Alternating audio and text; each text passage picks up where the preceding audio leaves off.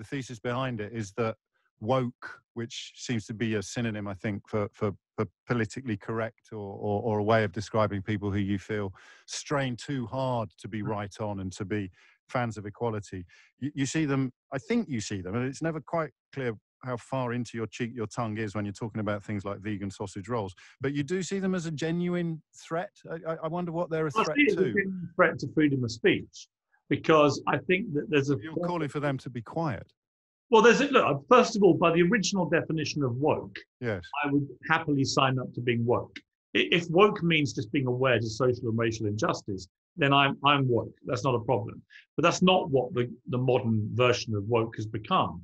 It's become a very destructive, quite self-harming sort of feeding frenzy based around this cancel culture. And I know you don't really buy into that, but I see it all the time where people are getting more and more cowed about feeling they just can't express an opinion or have a haircut or wear certain culturally inappropriate outfits or you know laugh at a certain. But, but, but are they really? Are they... Whatever it may be. I yeah. just like it's. I feel it's self-harming. I don't feel that taking things to that degree brings anybody with you. And if you want to win an argument, you've got to bring people with you. But but the argument for me, and trans is an exception to this observation because I think that trans issues are very confusing and people scream at each other with, with, a, with a fury of certainty that I can't achieve that, anything like that level. Do you think that applies to everything? no, no, I really don't. I think, I think trans is, is very much the exception. And in fact, it's, a, it's, it's people who are possessed of really toxic and dangerous views regarding race or religion or um, ethnicity or sexuality. I think they, they're desperate for, for trans to be front and center because then they can claim there's a culture war. But actually, it, a lot of your arguments work in the context of trans. They don't work in the context of, of racism or, or religious bigotry. Um, well, they, they do if you start making a mockery. Well, that's what I'm coming to. Yes, but that, that's that's what I don't get because all I know of these great battles are what I'm told by media outlets that are literally primed to infuriate and enrage me. And I well, thought I followed, I followed you on that. And what I would say to you is you you think that they're sort of conflated, they're concocted, they're created by the media, but it wasn't the media that said, for example, that Rule Britannia should be chopped from the proms. It was actually the catalyst was not the media. It got brought to the media's attention, and the media then had a lot of you know think. hay while the sun shone. But I do think it's chicken and the egg, isn't it? There's always no. something there that starts. Think, okay, so name three people who in the public eye who passionately believe that we shouldn't have sung Land of Hope and Glory at the. And remember, it's an audience sing along at an event with no audience. No, no, sure. It wasn't. Doesn't need to be three. Just needs to be the person in charge of the production. Well, no, you're talking about an army of wokies, and I can't think of one person who who, who passionately believed it shouldn't happen. This person had the power to decide it wasn't going to be a big part of the proms, and then that became a category. But there was no audience, Piers. Yeah, but, but here's the point I would make to you: an audience sing along at an event with no audience. Then bring somebody in and sing it. You could do that. Yes. I would definitely not in the current. And you can't name anyone who was passionately opposed to yes, it being sung. I remember her name, the woman who was in charge of the proms. That was the point.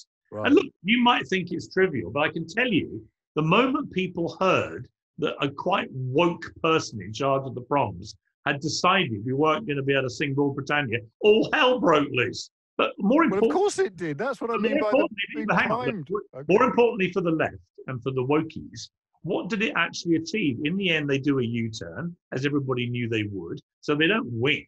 They just have a completely futile war, which is guaranteed to ensure they don't get what they want to get. When that was the woke candidate in an election who won? Anything. I, I don't. I'm not. I'm still not entirely sure what you mean by woke, and and we can hopefully we can use myself as an example on this. But but for me, the fact that there was no audience there simply meant that they were changing the, the, the, way that the event unfolded. The Times, I think, or the Sunday Times got hold of it, turned it into a story. The number of stories you see now about Black Lives Matter are responsible for this review. There's no such thing. Can you name someone who is what you could call a member of Black Lives Matter? And yet every story I read about Nelson being reassessed or statues being protected. That, that, I just don't know who these people are. And I sit in newsrooms, and I'm sure you still do too. And I hear people desperately ringing around to try to find someone to represent what you describe as an army. If there's so oh, many of them, why are they so hard to find? I don't think you need to find anybody. When you have to board up Winston Churchill, Gandhi, and Mandela statues, in Parliament Square. But they did that during the Countryside Alliance March. Of course, of course. I'm not. Listen, well, the right, woke? The right wing can behave far worse than the left wing. Let's just they're right wing. They're just country people. They're just pointing out when there's a big event. They probably boarded up those statues when you were having your big anti-Iraq war march. Yes, listen. I'm not. I am not saying that everyone's not culpable. I'm not saying I'm not culpable or part of this frenzy and noise. But what I am saying is the illiberal liberal element of wokedom has got completely out of hand. You might not accept it, but go out and ask people, are you sick and tired of this stuff? And they'll tell you they are. Well, of course they will, because so much effort, it's like Brexit, so much effort has been put into telling people that there's an enemy at the gate. No one's bothered to check whether there actually is. So, off the top of your head, who has been cancelled in, in the United Kingdom? What do you mean, who's been cancelled? Well, it's a word you use a lot. You say that J- James O'Brien won't be cancelled because he's got such a big platform. Well, you have. You're not going to get cancelled. Well, so who has been? I can't remember the name of the author who got cancelled by. You're going to have to do better than that because you, you say J- James O'Brien will not be cancelled, hmm. um, but I know loads of people who have been. So just name yeah. a few. Okay, well, I can think of one immediately, which is a good example. And actually, you you ought to be furious about it. And it, it, was the author. I don't know her name. She's oh, well, then it's hardly a massive issue if you can't even remember her name. It is a massive issue. Okay. So the author whose name you can't remember, what did she do? By a publisher, because the woke staff of the publisher, and I can do, there are myriad examples in the book like But this will be trans, won't it? It won't be any other issue. It will be trans. Yes, because that's, that's the only thing that works. Because you happen to agree with it. I don't. I don't have a view on trans. I write in my new book about how I can't pick a side. As so, I say so, in the book, you do have a view on trans, and the moment you expressed your view on trans, they tried to cancel you. No, and let me explain why you got that horribly wrong, if I may. So this oh, is. I'm looking forward to this. This is this. Well, what I tweeted, as as you, and I'm very flattered that there's so many pages. Dedicated I was very flattering about you. To, you, you're always very nice. Um, but but I mean, two things I'd pick up first. James O'Brien, who, who a popular and successful radio presenter, that's fairly uncontroversial. Um, it, it never crosses O'Brien's mind that he might not be right, or that anyone who disagrees with him might not automatically be a vile bigot. Um, How to be right, which I don't think you've read, is the polar opposite of that on every page. I'm I know, I know what you claim to be. I, no, no, no, no, no, This is my book that you've mentioned. I, I tell you what's in it. There's no relation to any of that. Well, let, you let are tell you what's in my book. You be very self-righteous. You well, do. You, you say that according to Twitter, but my book is about how easy it is to persuade good, decent, non-bigoted, intelligent, fully functioning people of things that aren't true. And then I go through ten different issues, everything from Winterval which was, was a myth, right through to the, the controls we did and didn't have over immigration, to the meaning of political correctness. And on every single page, or certainly after every single transcript, I say, this is a good person. This is not a stupid person. And yet, under your reading, everyone who disagrees with me must automatically be a vile bigot. Nobody could read your Twitter feed without drawing the hourly conclusion that you think anybody that voted Brexit, it must be a total moron. Because no, that's simply not true. Otherwise, single, my best friend voted Brexit. My father-in-law voted Brexit. There's, I mean, this is where I'm wasting my breath because you're saying things that are simply not true to support your thesis. So let's park that and move on to this example that you use. Again, you think you're right, and you won't countenance. no, I, I, I, think I'm right about who I am, Piers, and what I wrote in my I book. Question who you are, the same way you're questioning who I am. Okay, well, I'm right about what's in my book that I wrote and that you haven't read. But on the transgender thing, before why you would you even put it in there if you haven't read it? Before you move on so fast on the transgender thing, explain. No, I'm not moving on. I'm coming right to it now. It's absolutely where we are. So what I I, I was under. I for cover.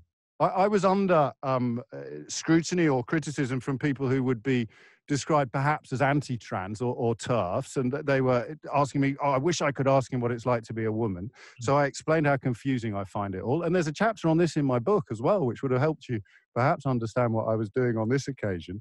And I said, I don't think uh, it's unreasonable to not let human beings with penises into changing rooms, mm. knowing that the response to that, because we've done it on the radio show, is always, well, who's going to check? And that's the point at which I say, actually I can simultaneously sustain two contradictory positions here because A, I don't think it's unreasonable to suggest that people with penises shouldn't be allowed into female changing rooms. B, I can't support any form of underpants police or, or, or genital examination before you're allowed into a changing room. And my friend Paris Lees, who, who you cite here as somehow attacking me or uh, turning turning on me, well, she makes a brilliant point. She says, "Who's going to check the mm. contents of my pants?" So instead of thinking, "Crikey, that's a really good point," um, you, you saw it as evidence of wokeness. So, first question would be, who is going to check the evidence of her pants? Well, these are the questions that have to be asked, aren't they? Well, and I answer them in my new book. Yeah. You don't in yours. So, so, so who who should check the contents okay. of her pants? I, I, I, don't know. Is the answer right? But what I would say, but you do think that it's reasonable to suggest that people with penises shouldn't be allowed into female-only spaces. What, what? Listen, I'm not saying I disagree with you. I'm saying when you say there's no such thing as cancel culture, look at the reaction you got. And I say to you, you can't name anyone, and if you can, it will only be about trans, not about all the other issues from vegan sausage rolls to Black Lives Matter. The example I was giving you before you so rudely interrupted me uh-huh. the, the, the, the writer who got cancelled by her publisher because she retweeted a support for J.K. Rowling, who had similar views about the transgender issue yes. and women's rights are being damaged by the trans rights lobby. And I have a lot of sympathy with a lot of what she says, not all of it, but most of it. And I do think at the very least, somebody as woke as J.K. Rowling should not end up with a hashtag RIP J.K. Rowling. That is the kind of illiberal fascism, which is the very thing that wokies claim that they detest most in genuine fascists. But you keep saying wokies, and I keep saying this only works on the trans issue. So give me some examples from other areas. Who's been cancelled? Who's been cancelled on the trans issue? I know. That, you I've read your book. I'll give an example. Go Radical on. feminists who want James Bond to be a woman. Right. Why do you care? I care because James Bond's a man. Did you see Glenda Jackson's King Lear? Yes. What did you think of it? It's got nothing to do with James Bond. It's got quite a lot to do with gender. It's got quite a lot to do with gender. I've got no problem with a woman spy being a hero. I, I mean, own. And I, here, okay, here's another example. Altrincham, yes. School, Altrincham School for Girls. Yes. Told all their staff they could no longer use the word girl, and yet the name of the school remains Altrincham School for Girls. Now, yes. what about the girls' right to be called a girl at that school, given 99% of the kids there are girls? Google. How many of them have you asked? Let me finish a little. You wanted some examples? I don't know. I do, but, but let's examine them one by one. How many of the girls at Altrincham School for Girls have you asked about how they felt about this? We had a lot of people because it probably came from the pupils. Contacted from the. Well, hang on. A lot of people from the school contacting us saying it's utterly ridiculous. And what about they said? Why is it that the transgender right, which is just a tiny minority of students, trans again? To, well, hang on, we're able to dictate how everybody got called in the school. But I'm agreeing with you that when it when it comes to trans, there is a tension and a confusion and an unresolved um, uh, animosity between two very very furiously entrenched camps. But there isn't on anything else, and you, have basically written a whole book. I haven't finished yet. Oh, sorry. Google react to radical vegans screaming away by removing the egg from their salad emoji. So what? What about my rights as somebody who loves eggs? Yes. to have the egg in the emoji. Why does a radical vegan get to have it removed when I, like most people in this country, love eggs? Yes. Have you found your access to eggs in any way limited? Uh, only when I when I click on Google and look no, at the. No, your access to, to actual eggs rather than my cartoon representations is, of my them. My point is the radical divisions of all these things, and there are much more no, serious. No, but you can't you can't say the radical divisions of all these things when you've conflated transgender with a cartoon of an egg? I haven't. I've just told you different examples. Oh, you said you're only talking about trans. Because that's the only thing that works. Nobody is cross about an egg emoji. Nobody's cross about that, and you're not really. Of course they're cross about it, or he wouldn't an have been emoji. An emoji of an egg. Of course. Right. Yeah, people weren't cross do you, about Do you understand why I said I can't tell how, how much time you spend with your tongue in your cheek? I mean, hand on heart. You're really cross that Google removed an egg from their salad. No, hand on her, on the more serious point. Yes, I, as long as it's I, not trans. Yes, okay. You can, you can pick any subject you like. Hand on heart, my issue with it all collectively is that this kind of nonsense, what it drives is a sense of ongoing, all encompassing censorship where companies in particular are now bowing to pressure from the woke brigade to mm-hmm. virtue signal their way to a place that I find hellish, where people are being dictated to about every single part of their lives. And most of it is trivial, as you rightly observe, but it's the, it's the fact it happens on trivial stuff that A, distracts from the bigger picture, and B, drives people completely nuts and makes them think that they have no ability to have any freedom of speech or expression. And I think that is legitimately a really serious issue. But but you don't think people should be allowed to say it would be great if James Bond was played by a woman? That's freedom of speech. Not if it happens. Why not? Because James Bond's a man. Yeah, a, a fictional man. He's a man. He was written he's, he's a not real. He's You a man. that. He's So you're real. happy for James Bond to be a woman, are you? I, I, well, I, I, I, hand on heart, I could not give a fig, mate. Okay, I listen, If mate. it's a good, uh, do you know what I'd do? I'd go to the cinema and decide whether it was a good film or not. You have things that you care about. I have things that I care about. But I don't. I- This is why I like you so much because I, I think you really do care about this, and it is. You must, on some level, realise how ridiculous it is, and that's why I have a problem with your book because because the trans issue is profoundly important, and I write very uh, great length and very in great detail about it in both the book um, I published a couple of years ago that you haven't read, and the book that comes out next week, and and and and there's a huge about your books. If I did, I'd read them. there's a huge danger of conflating cartoon eggs with young people who feel they've been born into the wrong body. And, Not, and no, because you decided that that's the one issue that matters. no, I gave you a lot of space to list all the great crimes against, or the great crimes committed by wokies, and you and you- you've come up with James Bond and a cartoon egg, mate. go through the more serious things in the Well, book. what are the more serious things? Well, let's talk book, about apart from racism. trans. Let's talk about racism and the reaction to George Floyd's killing. And the ridiculous way it went away from being a battle for racial equality and racial justice into utter ridiculousness about anything that anybody in the world on the woke side decided was racist and had to be cancelled. For example, I ended up focusing on Rule Britannia, Fawlty Towers, statues have been destroyed all over America of famous presidents, uh, with the most tenuous links in some cases to slavery. Over here, Winston Churchill being boarded up and Mandela being boarded up. Yeah, but we're back there again. They always The board them up. completely crazy because and and the and the damage is done to the actual cause. I hear you. I don't buy it, but you're. I think you're sincere. I mean, okay. So, final question: Can you name any major public figures who, who think that statues of Winston Churchill should be taken down? Yes, Go on. interviewed him on the show. Who? Uh, Andrews, the professor, for, one. He, he, he is the guy that every producer in the country will tell you, and we can't find anybody to pursue this point. That's the person we call. And I did say public figures. The Winston Churchill statue was defaced. It was Yes, up. by, by an idiot student. I sometimes think if you'd been to university, you'd realise that idiot students have been around forever, and giving them this level of profile and importance and treating them as if they're a threat to civilization as we know it is their dream come true, Piers. There are lots of people who think that Winston Churchill is the problem when it comes to the race debate. To which I say, actually, he got rid of the But- worst racist ever. But th- th- there aren't though. There, there might there might be some dozy undergraduates who've, who've read the wrong books and haven't actually grown up yet. But my attitude would always be, oh bless them, they'll, they'll grow out of it. Yours is, oh my God, they're destroying civilization as we know it, and we must You stop them now.